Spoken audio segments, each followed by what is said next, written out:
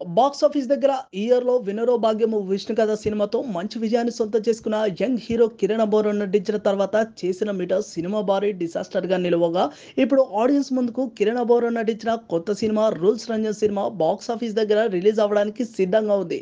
ట్రైలర్తో ఆకట్టుకుంటుంది. ప్రోమోలు సాంగ్స్ కూడా బాగుండటంతో ఈ సినిమాతో బాక్స్ ఆఫీస్ దగ్గర కిరణ్ అబోరన్ సినిమా హిట్ చేసుకునే అవకాశం ఉంది అనిపించగా బిజినెస్ కూడా రీజనబుల్గానే జరిగిందని చెప్పాలి.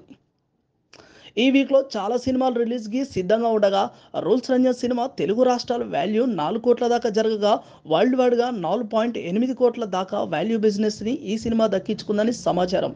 దాంతో సినిమా బాక్స్ ఆఫీస్ దగ్గర బ్రేక్ ఈవెన్ అవ్వాలి అంటే మినిమం ఐదు కోట్ల రేంజ్లో షేర్ని అందుకోవాల్సిన అవసరం ఉంది.